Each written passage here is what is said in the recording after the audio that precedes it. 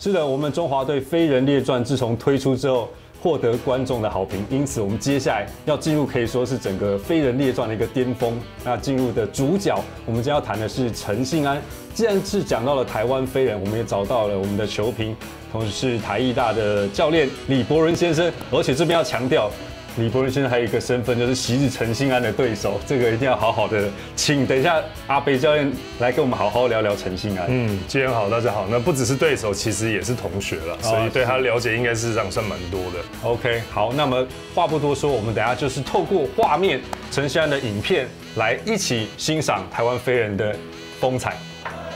好，那么接下来我们看到的画面哈，马上就可以来看到是陈信安非常年轻的时期。第一球就是一个强力的暴扣，这是在总统杯的时候，那个时候可以看到他还是身穿红色台银的战袍。那那时候的陈信安也才大概十九岁左右，相信阿贝教练也非常了解他那时候的状况。因为在那个年代呢，就是你可以打大学，同时你可以打所谓的社甲的球队，所以呢，他的身份基本上是大学球员，然后去兼这个所谓的这个台湾银行的一个队员。那这时候其实已经展现他体能上面最劲爆的一面。他他这个毕业于松山高中，那其实松山高中当初在成立球队的时候做了蛮多的体测，他就是原本小时候是打手球的，然后经过了那个体测以后加入了篮球，所以他的篮球球龄相较于同年龄来讲，其实相较是比较短，但他的身体素质却是非常非常突出，嗯，真的很棒。所以刚刚看画面，就是他在总统杯也拿了 MVP 啊，而且。等于是什么奖也都被他囊瓜了，而且也带领成呃台银队那时候也是拿下了冠军，所以说在业余战场基本上跟成人已经没什么，就是没有什么对手。而这时候当然要来强调一下，在两千零二年那时候陈信安这一球也是非常的经典，也是陈信安可以说是生涯巅峰。可以看到是严扣我们的移动长城姚明先生啊，当时是来台湾参加一个比赛，结果被陈信安。一个当场严扣，这个画面是非常的经典。当然，从这个比赛的画面可以看到，当初这我们所谓的龙哥郑志龙还在中华队里面，所以这个画面里面当然也就是一个这个新旧交替，就是说要交接到新安手上的一个年里面。那这个时候他其实已经进入国家队，那表示说他的身手跟身体的条件基本上达到一定的一个水准，所以呢，他就开始在琼斯杯的比赛里面去吸引。对，去吸收这个比赛的一个经验跟节奏，真的确实在两千零两千年，现在我们看到就是千禧年的琼斯杯，当时即便是面对国际的球员，甚至可能是纽西兰啊，甚至是一些比较真的是欧美的球员，他也是毫无所惧，而且对上你看日本队，哇，这切入简直像是切豆腐一样。当然，事实上他的身体啊，其实跟同样身高啊或同年龄的比较起来，他真的是非常的壮硕高大。而且不止壮硕高大以外，他的一个弹跳垂直的能力跟速度又非常的好，嗯，所以往往过了第一线以后，或者这样断球以后，靠近篮筐啊，他没有别的选择，基本上就是暴扣篮筐。而且暴扣感觉他有时候头都要撞框，他感觉头还要缩一下。嗯，他算是以台湾这个本土球员来讲呢，身体能力算是真的算是非常非常非常杰出的一名球员。嗯，确实，我相信许多呃国内。年轻一点的球迷啊，可能都看到这些画面，可能会有点傻眼，因为等于可能大家常常会说哦，台湾飞人，台湾飞人，可是。如果你没看过这种大概算是二十岁左右的这个 highlight 的话，你真的无法体会到那个体能之猛爆。嗯，或许从过去的一个比赛里面，你可以看得出来，最近的比赛大部分都是快攻以后或超到球以后的灌篮。那信安呢，他倒是可以在半场每次切入以后，就有这种强行灌篮，然后在对方协防球员头上暴扣的这一个画面。其实这里半场进攻来讲是比较不容易的，而且他的这个爆发力让他也可以说是。呃，在判断对方的防防守做超级真的是非常的有力。那这边也看到他在呃，可以说是那时候已经转到玉龙队，同时也是在总统杯两千零二年的时候，他也是拿下了总统杯的 MVP。而且我们继续来看，这也是两千零二年，可以说是进入一个中华队当时大换血的一个状态。那当时虽然说。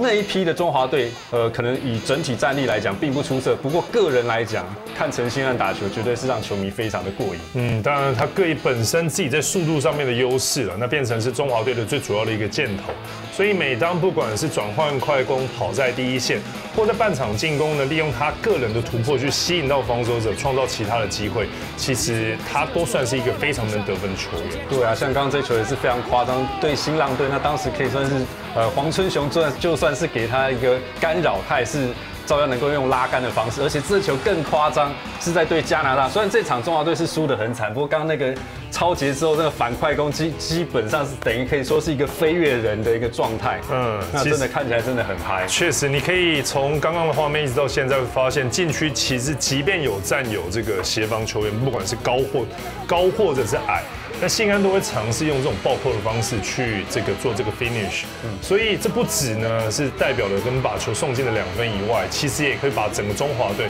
或他所属的球队气氛呢完全给带起来，甚至于把全场的气氛给炒嗨。可以看到两千零六年其实。陈信安在打法感觉也稍微有些进化了，可以感觉到他的外线的出手的选择似乎比例上是越来越高，而且甚至在他在对美国队现在看到这一场啊，他其实也曾经有单节飙进三颗三分球的表现。嗯，当然其实前几年因为这个年轻的关系啊，纷纷往禁区里面去做到突破攻击，那各队慢慢就会知道说中华队有一个陈信安，他的突破能力是非常的好。所以从那时候开始呢，大家对于不管是协防的站位或第一线的站位呢，其实对于切入都是有所准备。那这个时候信安呢，他当然也开始去进化自己在进攻上面的手段，就是他所谓的三分球。那因为他本身的双腿爆发力非常的好，所以你可以看到从画面看出来，他的三分线的出手其实是那种奋力的跳投，就全拍的那种跳投。所以在这情况之下呢，不止防守是比较难去做到看防，那自己呢，其实有时候准起来的时候，连续进几颗，也是能帮助球队一下把比分拉开，或把落后的一个局势啊，完全给他这个逆转过来。嗯，所以等于说他的。算是出手点高，也算是一个投三分球的一个优势。嗯，确实，如果你跳得很高的情况之下，像这种扑防是没有办法去做到干扰，这当然是他身体上的一个条件。不过他也花了很多的一个精神跟能力去练自己的三分球，所以这是一来一往啊，就是人家怕他切，他三分球就变得好投。他三分变得准，他就变得越更好切。所以其实，在两千零七年，我们可以再看到现在是一个亚锦赛的画面。这一年也可以说是陈信安可以在国际赛算是个人的一个代表作，因为他那一年他平均得分来到十八点一分。虽然说可能哎乍听感觉是还好，可是他在那一年的亚锦赛是在所有球员当中，他是平均得分第三高的，也是大概自一九九九年的罗新良之后，再度有中华队的球员可以在呃等于是亚锦赛这样的舞台里面平均得分到前三名。所以可以算是他一个，呃，当年就可以看得出来，中华队完全就是以他作为一个得分的箭头跟得分的主轴。所以说，可以看到他的呃进攻的方面的一些才华是慢慢的就是绽放出来。其实应该说十八分乍听起来不多，但在业余的篮球规则里面，事实上十八分算是非常非常多，因为 NBA。打的是四十八分钟，那我们当然不能把那些 James Harden 的三十几分场均拿来跟十八分比较。其实十八分已经在在显示，他已经当初是当那个年代里面就是中华队里面得分的最主要箭头，是球队的一哥，甚至于是亚洲非常能得分的一名锋线球员。不过接下来我们可以看到，大概来到了呃两千零八年开始，陈现在就前往了中国大陆打 CBA 嘛，那这也算是他一个人生的另外一个阶段啊。那对于这个时候，虽然说其实陈现在在打 CBA 的时候也是比较辛苦一点，那时候也常常就是出现一些叫肢体碰撞比较频繁的状况。那他个人的呃身体状况也调整的不是说这么理想，因为其实包括我们在前面可以谈到，就是说他虽然在有几次是参加了国王队的训练营，甚至去隔一年也有去 NBA 的训练营，那算是有一个人的一个。生涯巅峰，可是很可惜，是因为都由于受伤啊，所以慢慢这些部分也对于他的生涯可以说是开始构成了影响。我们可以看到两千。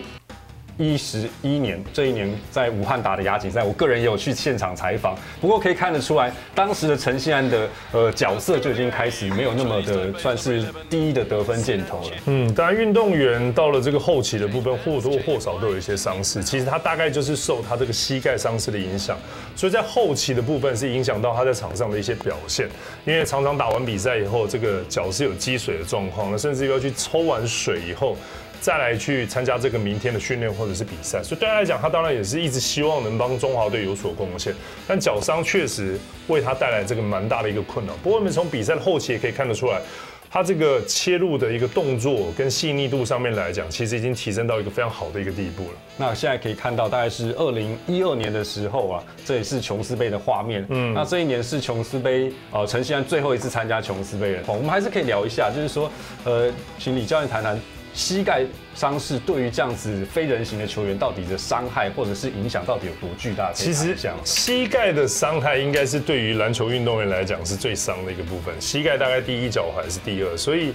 这个不管对任何人来讲，在场上啊，在场上他都没有办法出他最好的力量的时候，他不管是要切入去过呃上篮，或者是第一步的一个支撑来讲，其实膝盖的伤势都受不了。那更不要说啊，这信安本身，我们刚刚一开始有提过，他这个身体的素质，其实应该是超越大部分我们所谓的这个亚裔球员的一个能力，亚洲球员的能力。所以，当这个膝盖变成是一个很大伤势的时候，他的肌肉。又要承受，要炸出这么多的力量，相对他的膝盖其实更痛。好，那最后我们当然还是可以来谈一下，就是基本上就是也由于受伤的关系啊，所以其实陈现在在二零一二年之后就也再没有打中华队的比赛。那在二零一三年呢，我们可以等一下看一下画面，就是说在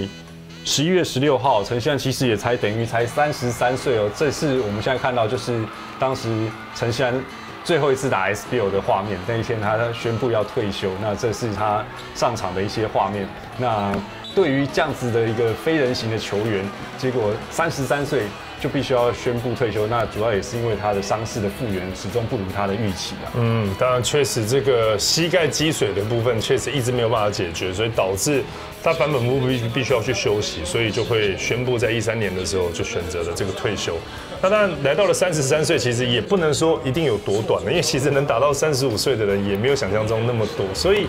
能达到三十三岁也算是一个非常完整的一个篮球生涯。只是说大家希望能看他更达多久一点点，能达到三十五岁。但事实上，我觉得三十三岁对于从年轻的时候很小就进入所谓的中华队，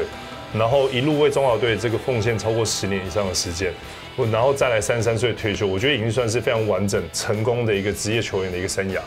那最后当然还是不免俗，要请我们李教练帮我们谈谈陈希安，在你心目中，你觉得他的必杀技是什么？我觉得他的必杀技，当然第一个要结合他自己身体的一个素质了，那再来就是他后天的努力。其实你可以看得出，他切入以后啊，最后这个暴扣篮筐的部分呢，不管是对手是谁，即便是所谓的姚明来协防，他都会尝试去扣这一个篮。我觉得这必杀技就是他往往在球队落后或需要一股士气的时候，他这个切入暴扣篮筐的这一这一步啊，确实可以帮助中华队提升这个士气，而且最后能取得比赛的胜利。发现我前面还是忘了问一个部分，就你以前在打球的时候，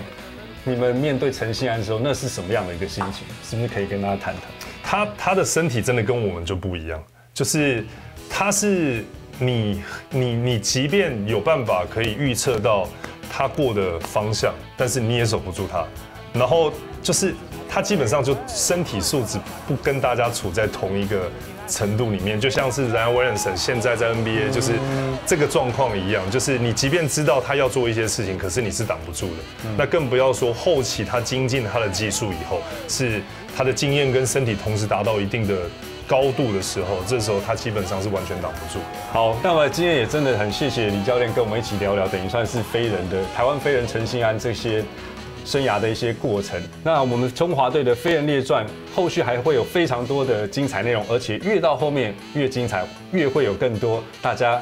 可能平常在网络上找不到的画面，请大家拭目以待。